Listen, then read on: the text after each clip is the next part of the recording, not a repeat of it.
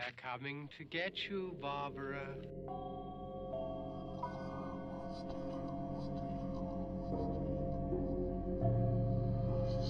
I'll be coming for you, Barbara. Honey,